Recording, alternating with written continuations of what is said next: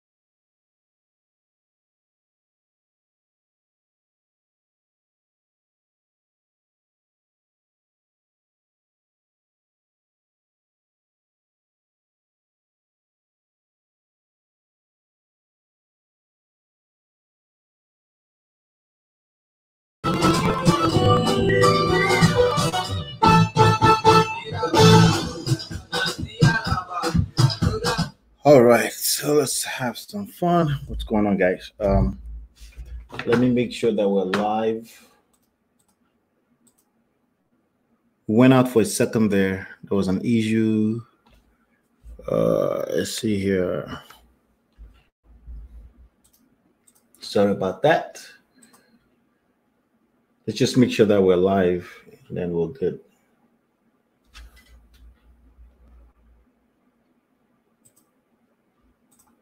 All right. All right, well, look good. All right, what's going on, guys? Um, welcome back. Welcome back. Today we're talking about seven percent rule.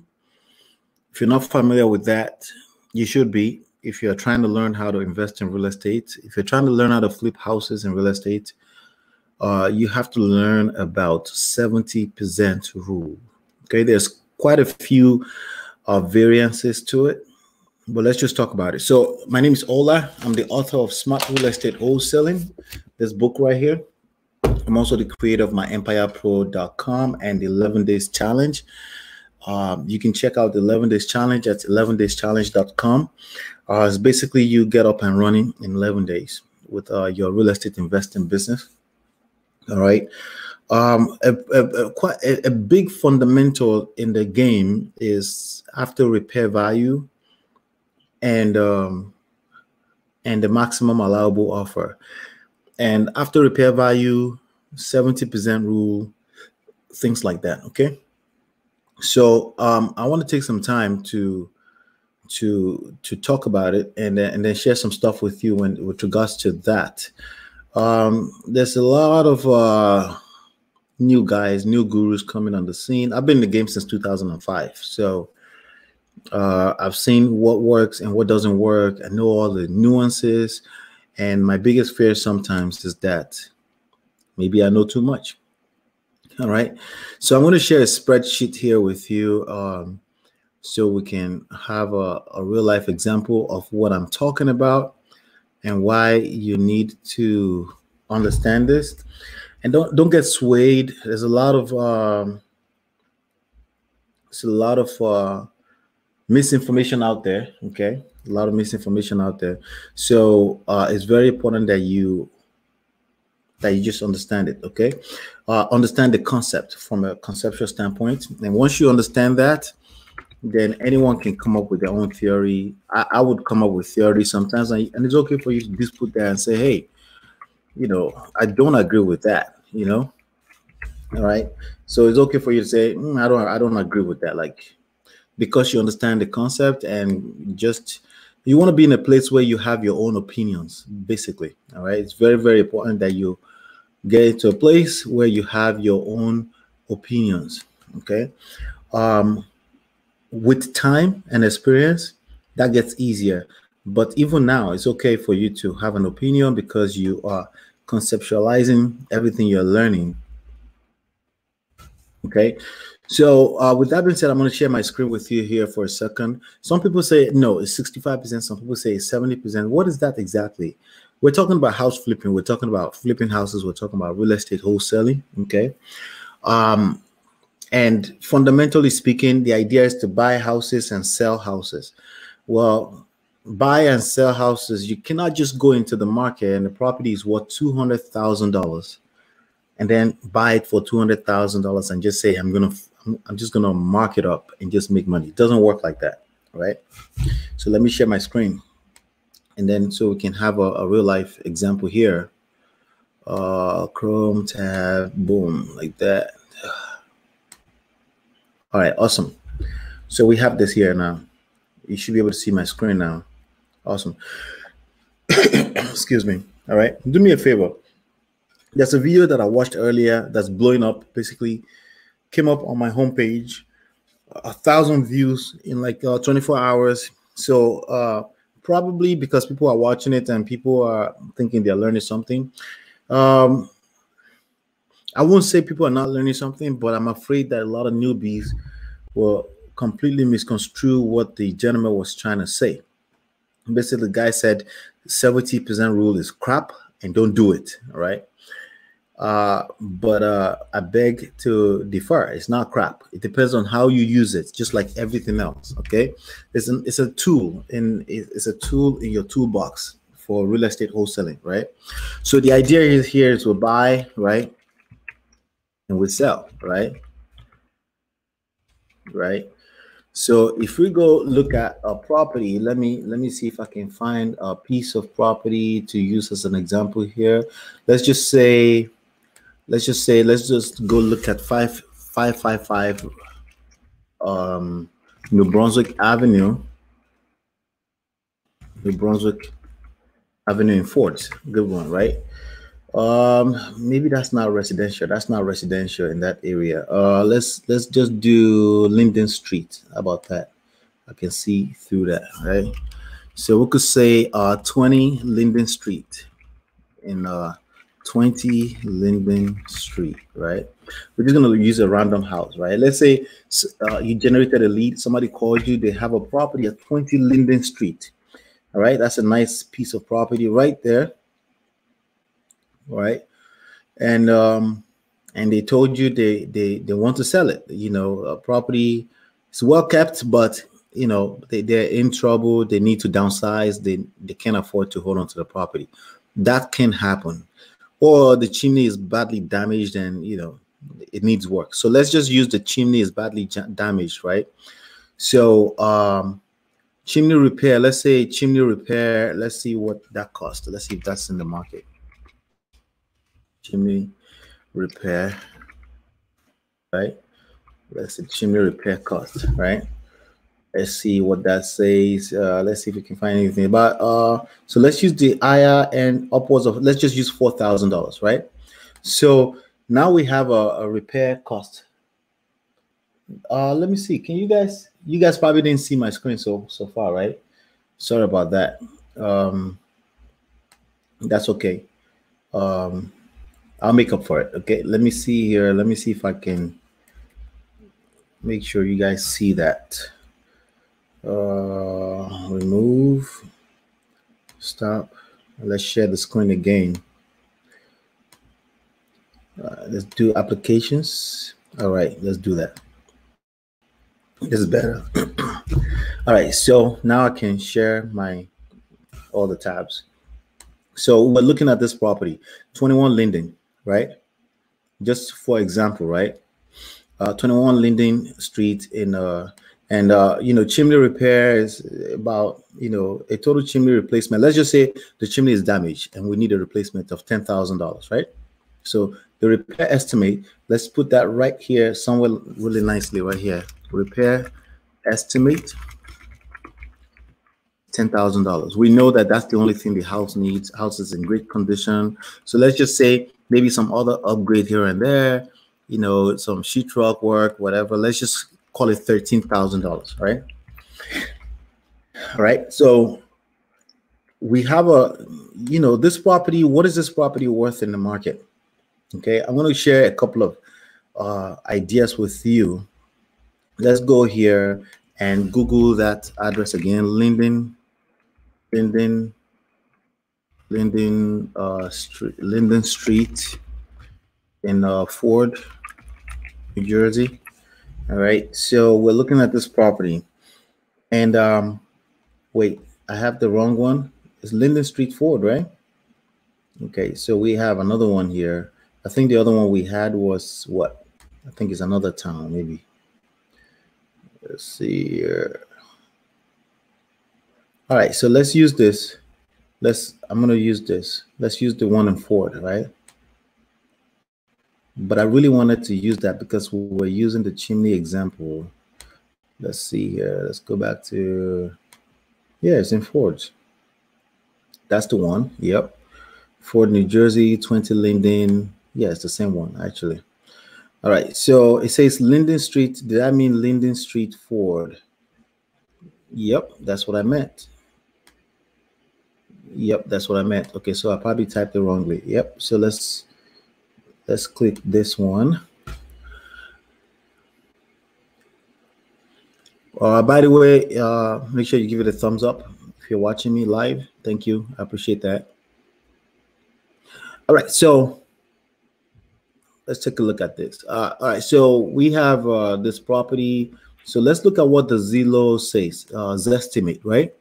Some people will say Zestimate is not really value. I'm going to tell you right now, Zestimate is value.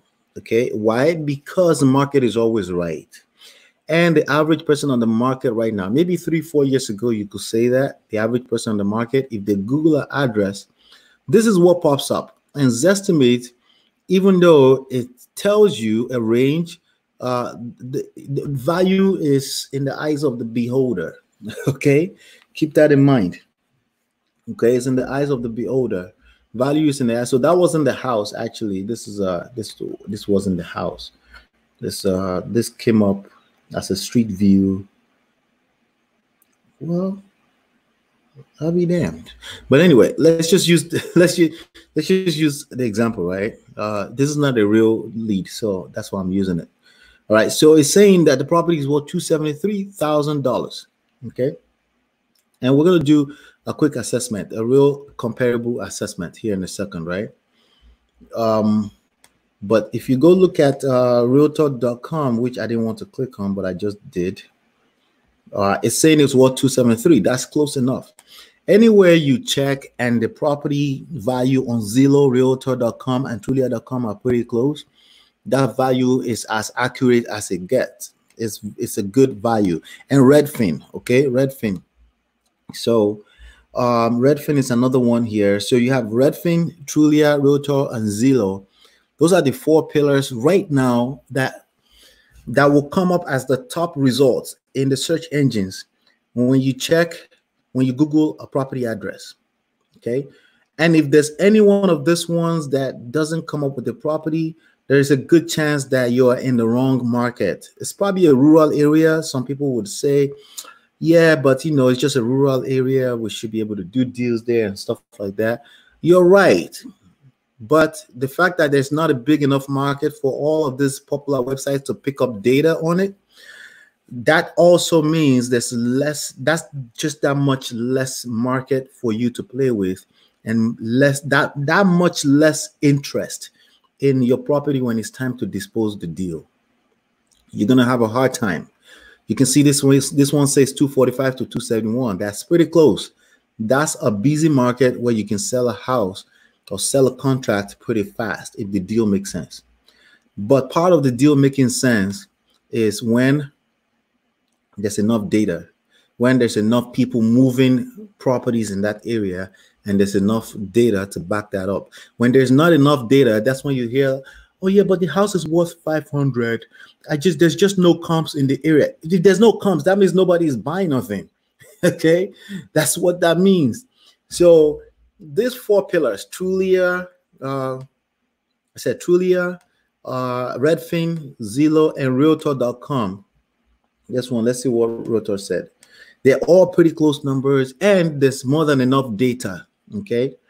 Now, if you uh Sean Terry is a guy that I follow like forever, you know, and um he has a theory that 60% of this value is where you should go, not this value, the one on Zillow, because that's the most popular. If you notice, it comes up as number one always. Right? It comes up as number one always. So he says, you know what? Just use the one on just use the one on Zillow because that's what most people most people are gonna get the most traffic. That's what most people are gonna look at as the value of the property. Even if a realtor comes and say, nah, the property is a little bigger, no, it's a little bit less, whatever. It's like whatever. Once the majority of the market see this number, and then you go to the market and you say, nah, but my house is actually what 450, they're just gonna laugh at you for the most part. Okay. So, with that being said, actually, in my own personal businesses, we've been generating some leads, and I have some of my people locking up contract that's not that's not a fit because they, you know, they're, they're using comparables like a professional comparable market analysis, but the Zillow is saying off because Zillow is accounting for that whole town and all of the negative things that may be going on in the town, even outside of one mile radius. And that does affect your market. Either we like it or not. Okay. So let's just use this number 273,664. Let's go here. Let's use this number. And so let's say after repair, we're not calling after repair value that. Let's just, just this is just temporary. Okay. After repair value or ARV those are fundamentals. If you want to win in this game, you need to know what that is. Okay. All right. So let's see here. And then we have a maximum allowable offer. Okay. So here's what I have to say to people that say that 70% rule is crap. What I have to say is that you can't call something crap to people who don't even understand the simple concept. I was watching another live stream yesterday where somebody was asking, How do I find a deal? All right. That's that's basic. If you're asking that question, you need to join 11dayschallenge.com. That's fundamental. You need to learn that, and then you can ask much more educated questions, right? That's okay. Maximum allowable offer. That means how much you you should ever offer on any given property right? So you, if a property is worth, what did you say, 273, right? On Zestimate, right? 273,664. Let's just say it's worth 273,664, right? And um, let's see.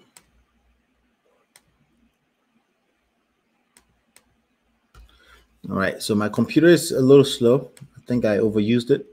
So you're not going to go in the market and buy at 273 and then say, hey, I'm just going to mark it up. I want to make 10 grand, right? We're not going to just do that and just add 10 to that. It doesn't work like that because the person you're selling to is going to be like, why would I pay 283 for that value? Right? They're going to check the marketplace. They're going to Google the address. They're going to see 273 and say, hey, yo, piece of crap is what only 273 why would i pay 283 for it or because i need to make $10000 doesn't work like that right so you have to reverse engineer the process how much do you want to make right you have to reverse engineer that right so instead right uh the amount you should pay for a property will come up here okay it will come up here and that amount traditionally speaking in the game of real estate investing like all the hard money lenders follow this rule.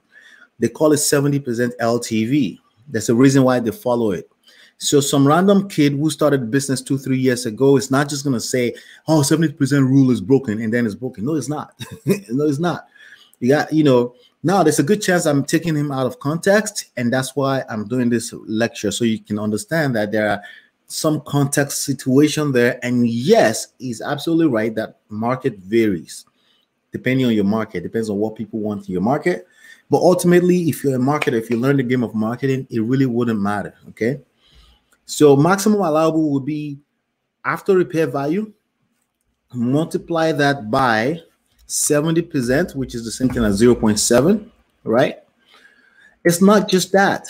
So a lot of people think, okay, so let's just say this was, uh, we're going to change this up in a second to what it probably should be, okay? I'm just saying always match it with the Zestimate. If your number is off Zestimate, it's something to be aware of. So now 70% of 273 is 191. No, that's not the end of it. okay. Somebody has to pay for this, the $13,000, and it shouldn't be you. And it's not going to be the person that's going to buy from you. Because remember, you, you don't get to go to them and say, hey, I want to make $10,000. So just had that on top of whatever the property is worth. It doesn't work like that. You have to reverse engineer. You have to find deals, discounted deals so that the deal pays for itself. It pays your fees, it pays all the closing costs, it pays the profit margin that an investor would want to make. So the profit margin, traditionally speaking, is 30%. 30%. Okay. So I'm gonna say here, I'm gonna say um I'm gonna say one minus profit margin, okay. All right. So I'm gonna say that, and this will be like 70% right? Let's call that 70%. So instead of putting 0.7 here, I'm just going to use this cell so I can change it around, right? Is that making sense? But now this has to be, you know, this, this, somebody has to pay for this. The deal has to pay for it. So we have to deduct it from here. So that formula is not really complete until I deduct the estimated cost of repair. So when I was watching the video, he kept saying 70%, 70%, but no one, no one in the traditional, uh, the traditional gurus ever thought just 70%. They said 70% adjusted with the estimated cost of repair. Okay. And if you're a marketer, if you learn this game properly, that's usually enough. Okay. Now, personally, I 70% is good for a person that's actually going to fix and flip the property themselves.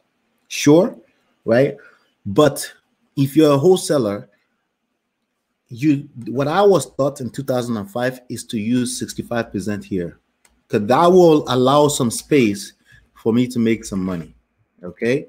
And now I can only pay 164,000. I can only make an offer of $164,000 on the property. Now, this number right here is very important to get this right. Okay it's very important to get this number right. This number right here. Because if this number, if you get this wrong, it drives everything else. Okay. This number right here, if you're a fix and flipper, that means you're actually going to fix the property. You should get three opinions from a contractor in order to determine this number. Okay. If you're brand new, if you're already uh if you're already in the game for a while and you're you're experienced, you probably will know how to do your estimate because you have experience. But if you're starting brand new, you should get three opinions or uh, three quotes from contractors that will do whatever work is needed to bring the house up to speed, to add value onto the property. Okay, excuse me. All right, that's how that works. Now, if you're a wholesaler, I have a I have a tool here called Deal Estimator dealestimator.com. Okay.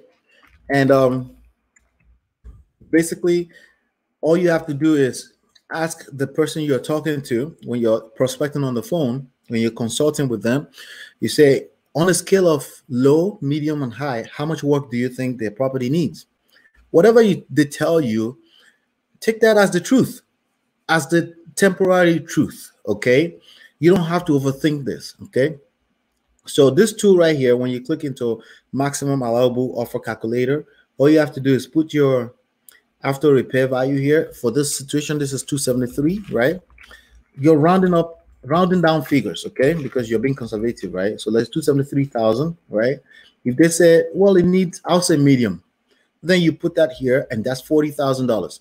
That $40,000, basically, you can put that here. Some people will come at you and say, But yeah, that's not accurate. Well, no one ever said it was gonna gonna be accurate. You're just trying to make an offer, an offer that makes sense. When I turned this to forty thousand dollars because they told me it needed medium amount of work, now I'm not going to lock up a contract any more than 137.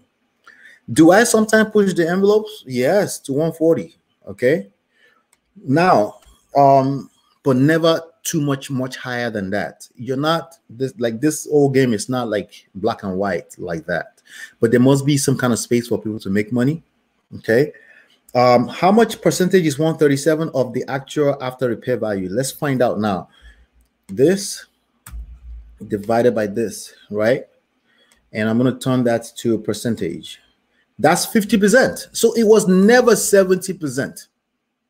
Okay, it was never 70%. If you're a wholesaler, I always recommend 65%. Okay, this is 50%. Sean Terry said, free, Sean Terry from uh, Freedom, Freedom, uh, something like that, right?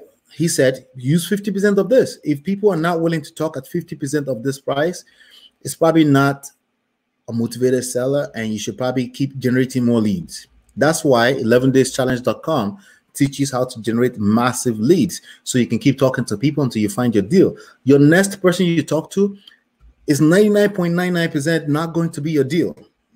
okay? It's about finding the deal among so many, it's about finding the, the diamond among so much, so much rough, right? So is that making sense? So profit margin minus one is about 65%. That's added your, you know, potentially you want to make 60. If you want to make $10,000, fine. But what's 5% of 273? You're not making commissions. So you never want to say that in public unless you're on my webinar, right? That you're making commissions. But I'm just letting you know this is how you structure a deal. You find a deal, this house, 21 Linden Street, lock it under contract at 137. Why would they want to do that? Well, because they can't afford to hold on to the house. So you're actually helping them. Okay. While you're helping them, you help another investor find this deal. The investor will pay you.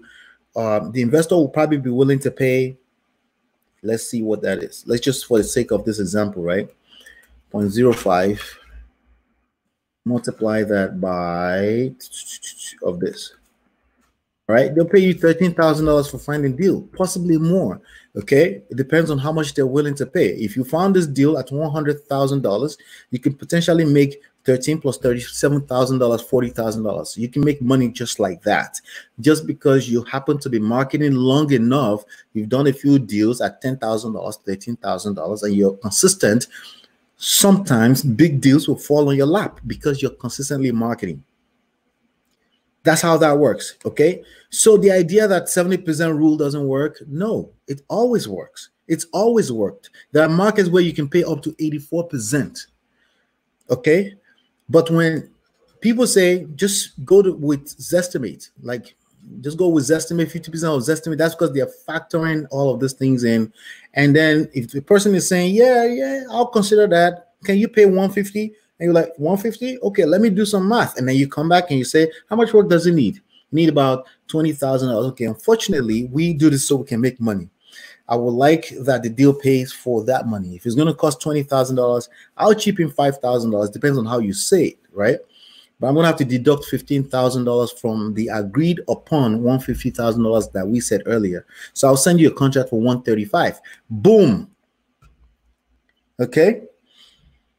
All right. So we got to keep things in context. So let's let's do a quick comp and see how much this property is actually worth. Uh, 21 Linden. Let's go to um, let's go to uh, let's see here. Let's see. Uh, da, da, da, let's go. Let's let's go switch screens real quick. That's the last thing I want to do right now. If you have any questions, it's a good time to post your question. Uh, ACD, you need a mentor. ACD, you need a mentor. Just go to 11dayschallenge.com. What you need, a challenge, okay?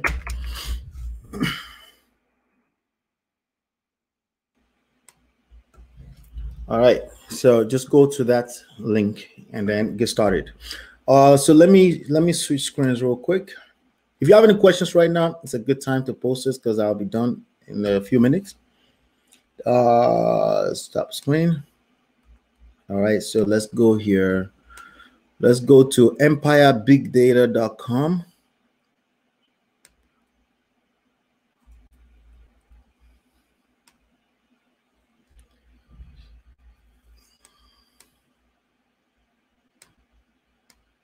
All right, awesome.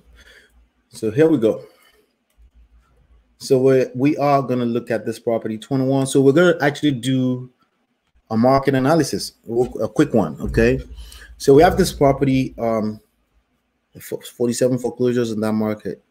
Well, New Jersey is one of the highest foreclosure states, so no surprise there. Right?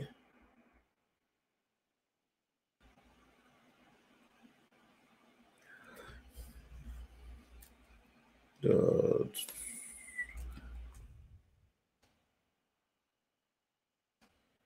all right, so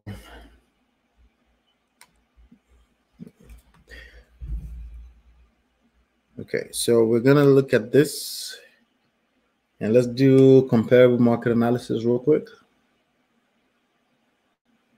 Okay, so uh, this thing defaults like the range of the actual size of the actual house. This property was one forty eight thousand dollars was purchased one forty eight thousand dollars two thousand and one. That's the last time it was traded. Um, one forty eight in two thousand and one. So, if somebody had called me from this property, this would have been an ideal because right now estimated mortgage balance is $59,000. So if I'm paying 135 for that, they will still be working with $80,000 ish, right? So I'm going to go here and uh, I want to use both here because New Jersey is not a non-disclosure state. So I can see everything on the public record and uh, one mile radius and uh, property class is residential and uh, single family. New construction, I know that area, so new construction is not very common in that area. So, and you can probably see on the column of year built here, I do see a 1993, but I see 45, 10, and they're all selling $300,000 between 250 and $300,000, right? So that's good.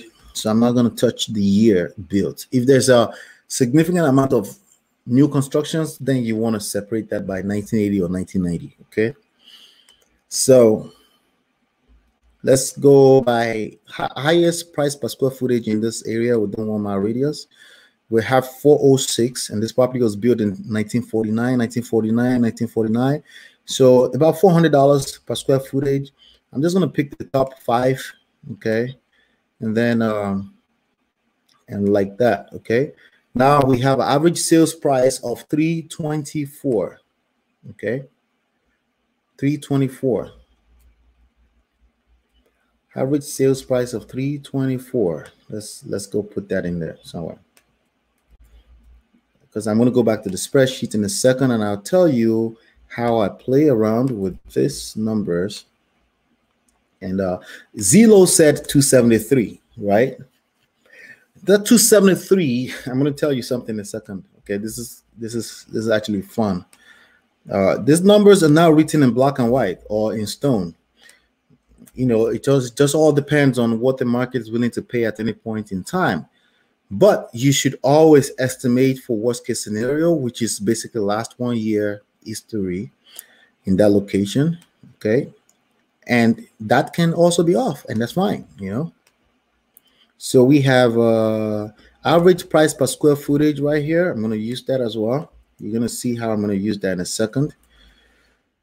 Uh, that's $387.68. Okay, that's not average in that whole town or within one mile radius.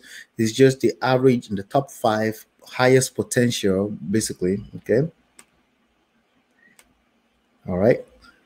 And uh, so now the next thing I'm going to do, I'm going to take everything out again. I want to look at the, you know, it's not every time I look at everything. Okay. Sometimes I just, you know, you want to be very quick too. That's why I don't mind the idea of Zestimate. Just Zestimate 60%. Okay. Not 50, 60% and say, what would you say? Would you be open to a price of one fifty thousand dollars?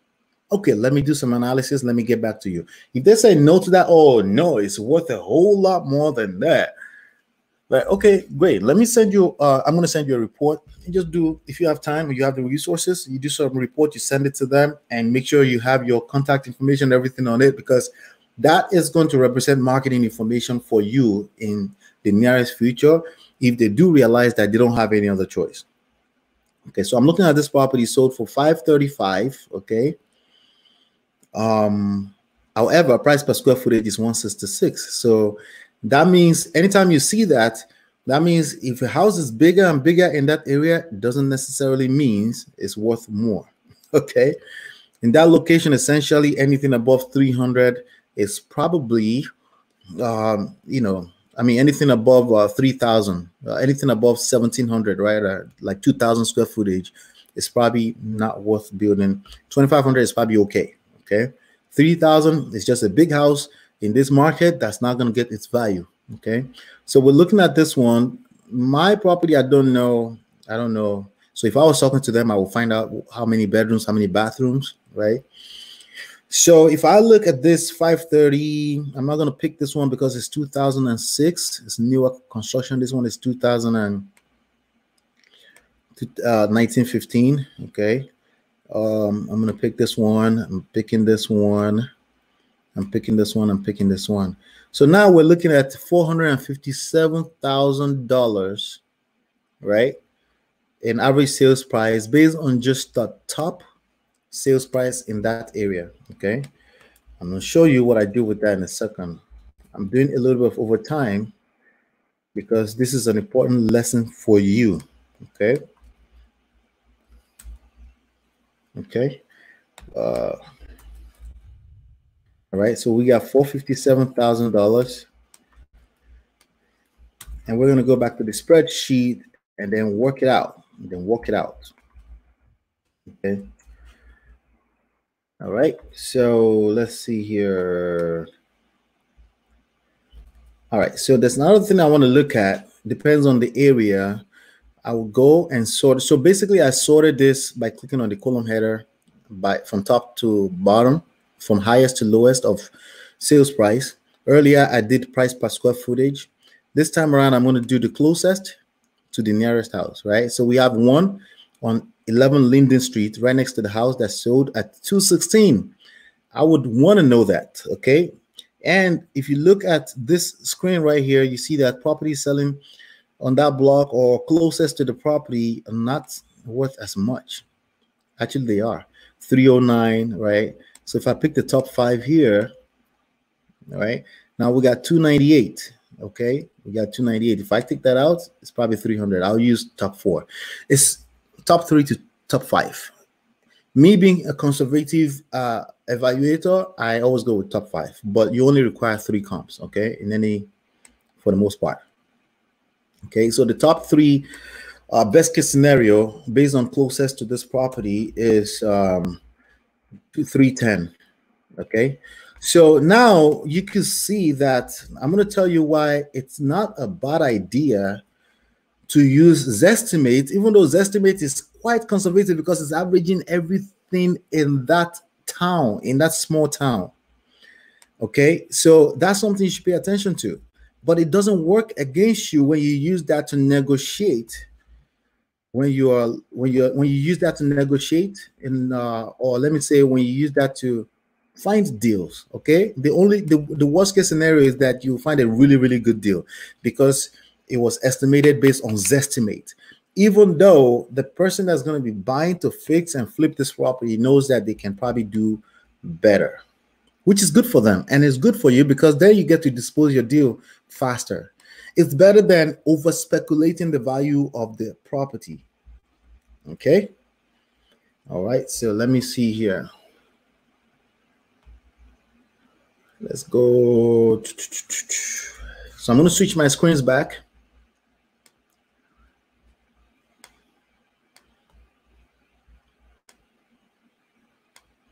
All right.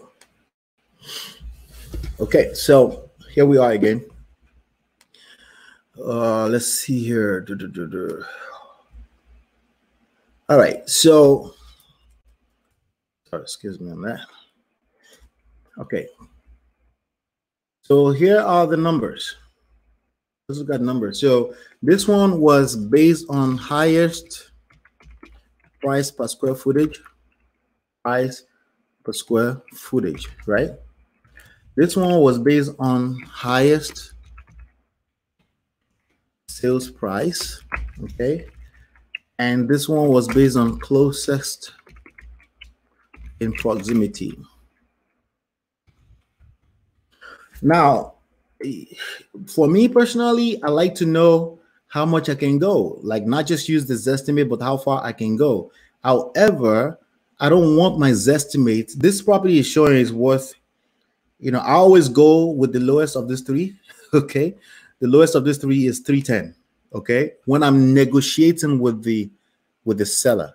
When I'm negotiating with my buyer, I'm giving them the best picture. That's for, this house can be worth up to four fifty seven thousand dollars. That's the highest, best use, highest potential, and they may need to add on to the square footage. Who knows, right? Maybe not. Now let me show you something even cooler, right? This price, the the square footage of that house is twelve seventeen, right? Twelve seventeen. So I'm actually going to insert here. Uh, oh, what did I do? Okay. 1217. So let's put that here, 1217. Right? That's the square footage of the house. These are numbers you need to understand. Okay. Right. So we got square footage of the house, uh, 1217, right? So in reality, this number is not actually accurate. Now I'm going to make it accurate, okay? Because it depends on the size of the house. Whatever number you want to use, it really, really comes down to the size of the house. Okay, so the I have three ARVs here right now, three ARVs, right? And let me reduce this so we can see a little bit better. All right. So this number has not been adjusted for the size of the house. This number, the only way you adjust it is you multiply this average price per square footage by the square footage, okay? and that's that right there boom just multiply it right and then you have a number here but this number seems quite inflated okay so if you just increasing the size of this house and using this price square footage is not going to help you because i will always go with the lowest of these two okay so with that being said i'm literally going to do a minimum okay minimum of these two numbers. Boom. And this is the ARV. Okay. Based on that formula. Remember that evaluating the, the, the value of a property is still an opinion. We're using a lot of data, but it's still an opinion. It depends on what you do with it. And it's ultimately up to what a willing and able buyer is willing to pay for the property. Okay. That's just the bottom line. So let's do the same thing here, right?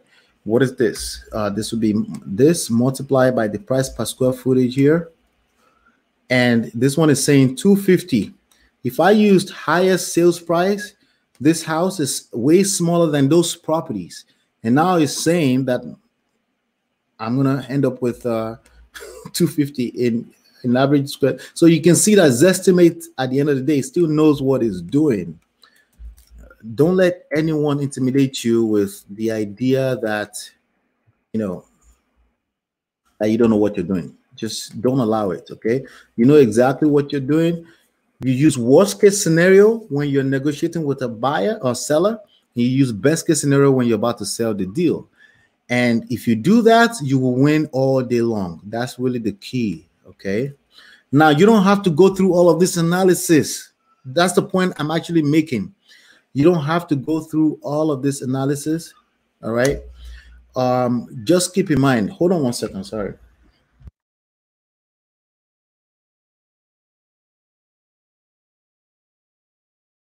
All right. So we have this one says 319, but we always go with the lowest. Okay. So if I was to try to sell to out of all of these numbers, okay, which number is the ARV? It really depends on who I'm talking to. Okay. Everyone still has to do their homework. If I'm talking to a seller, they obviously that's going to be based on their motivation. They just want to walk away from the property, and I'm going to get them as much as I can get them. Best case scenario for us, so I can dispose the deal. If I mark up the price too much and I use any of this higher stuff, that's just additional chances that I will not be able to sell the contract. Okay. Now, if I go with the lowest number here when I'm talking to them, that will be the 250 out of these numbers, the bold numbers. I'm going to bold them right now. Okay.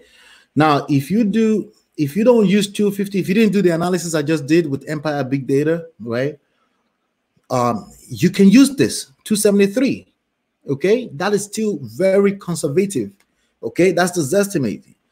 But that estimate is never going to be a 471 because it kind of factors everything in. Okay, this board number, the highest here is this one. That's this one right here. Let's just make it big. This right here is the highest potential of this property. So somebody may want to come there and have the level on the property, increase the square footage of the house.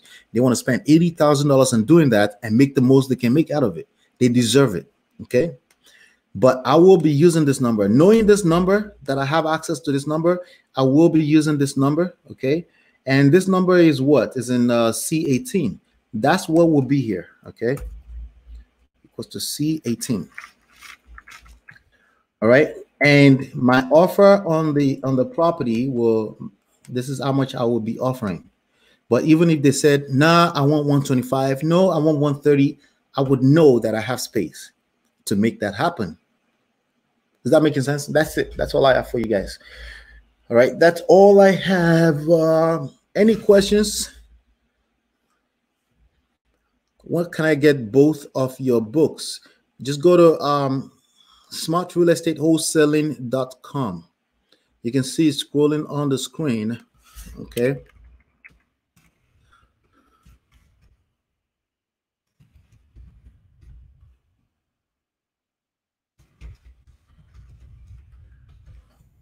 All right. And when you go there, uh, it's going to send you an email after you enter. Make sure you check your spam box, your junk box, all of that stuff. Make sure you check it and um, before you move forward and then it should be your email and then you have options also if you want the physical book like this or you want the audio book you see the options there. All right um thanks malik. Um if i find a deal can we rv the deal? What does rv mean? Joint venture? You mean jv yes absolutely.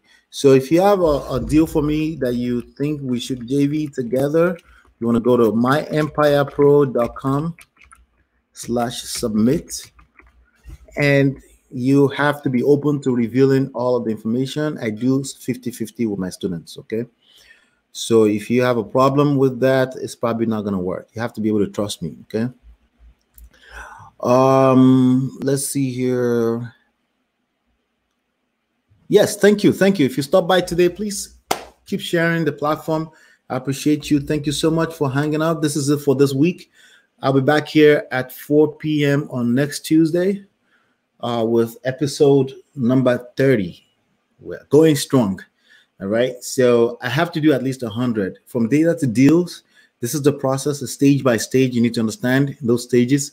If you don't understand the stages when you run into a problem, you don't know how to troubleshoot, right?